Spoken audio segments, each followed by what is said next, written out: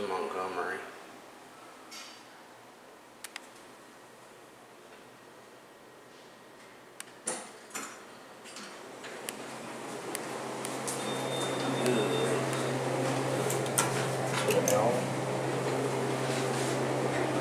It's a pretty basic elevator.